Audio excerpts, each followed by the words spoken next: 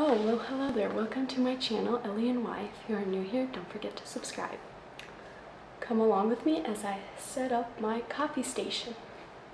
But before we get started, let's rewind a little and this is how the area looked before and now the finished product.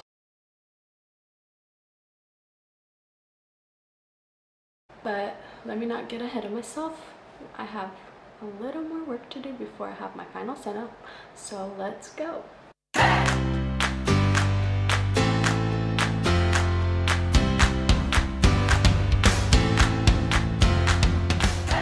Okay, so this is what I'm working with as of right now. I'm gonna start from the top and go towards the bottom. First up, we have I have these floating shelves. I got two white floating shelves online down the company in the description. Next up is my coffee machine. And this coffee machine is the Breville Barista Touch, I believe. And right next to it, I have a teapot. And I got this on Amazon.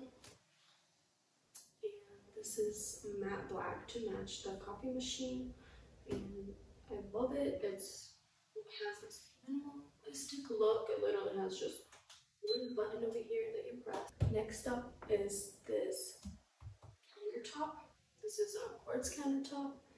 And the cabinets, which are from Lowe's, are the top typical cabinets that you put in the kitchen, like the bottom ones but I put it on the bottom because they're more narrow, not as deep, so that they would fit into the window frame and not overlap.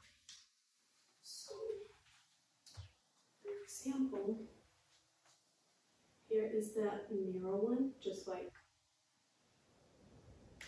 my the one on the bottom. And this is your usual bottom one that is way deeper. And then we have the handles, which are also matte black to go with the, these two things. And they're also from Lowe's. I'm gonna start with setting up and decorating the floating shelves. So first off, I have plants. This plant is called an arrowhead plant. I love the unique shape of the leaves. And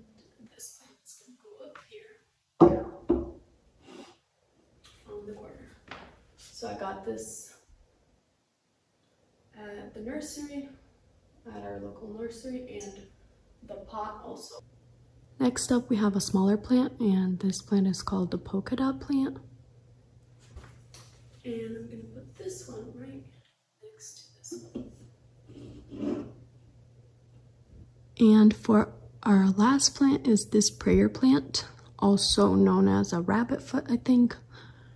And the unique thing about this plant is it actually folds its leaves up in the afternoon, which I didn't know until after I bought.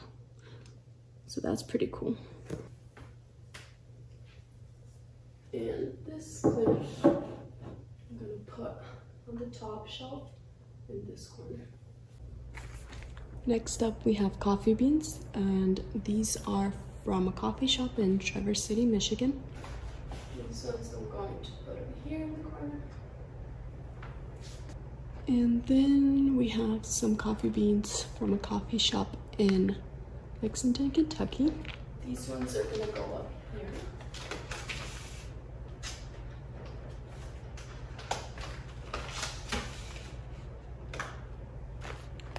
And the last coffee beans are from a coffee shop in Knoxville, Tennessee. And these ones are gonna go up top next to those ones.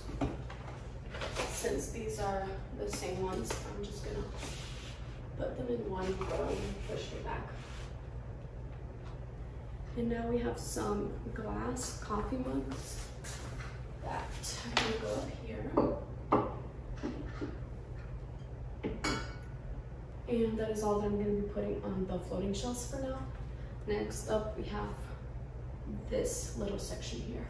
So I have this two tier tray thing that I've had for quite a while. So um, I had it in my previous coffee area.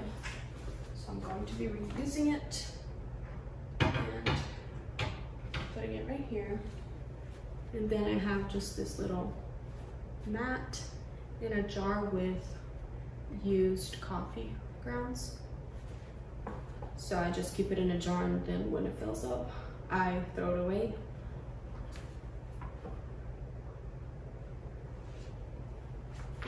And now I have some jars of loose leaf teas.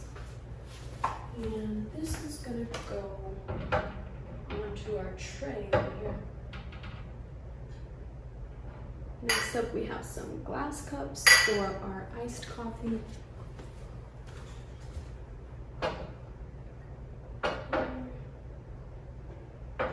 Some more mugs.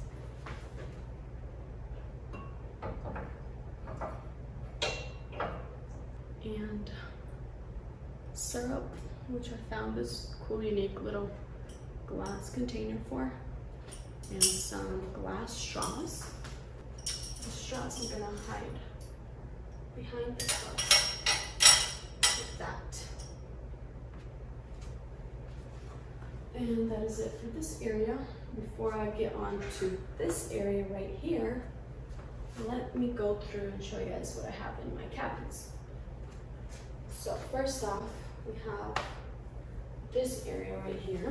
And it just has random stuff like oh, owner's manual from the machines and teapot and also more tea stuff my favorite cabinet is this one. I do have some tea, tea bag stuff here, but mostly it's all of my cups and jars and stuff. So I kind of have an obsession with getting different sized coffee mugs. And here are some of my double insulated coffee mugs have that shape. And this one is a little more squared. The other one was rounder. This one is without a handle, a tall one. And my last one is also a tall one, but with a handle. So I have four different types of insulated mugs. Okay, so now that I'm done with the wall part of the coffee station, let's set up my lounge area. Okay. First up is a rug and this is a five by eight, I believe, feet rug. Doesn't, doesn't tell me.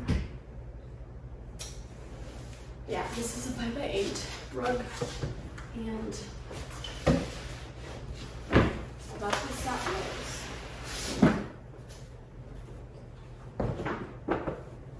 I was looking around online everywhere, but the reviews were making me have second guesses and I was not trusting it to buy online so I just was looking around a lot of stores so that I could see it in person, so I could feel it. This is a thicker rug. I didn't want it to be like super thin.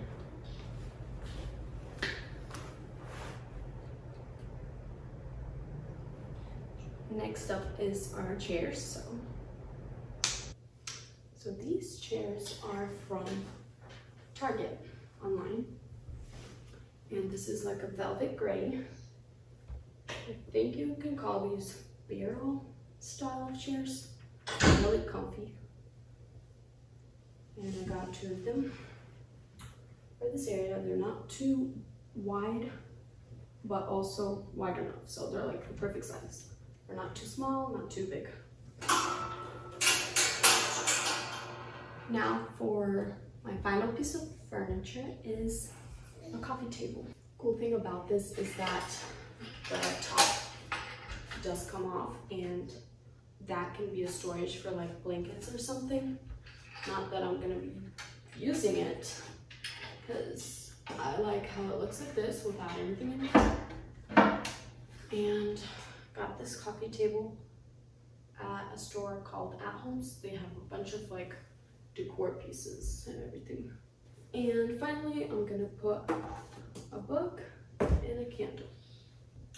Okay guys, so this is my final setup of my coffee area.